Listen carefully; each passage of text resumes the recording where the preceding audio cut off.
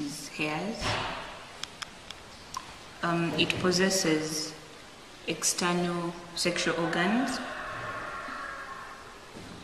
Um, it has two external ears.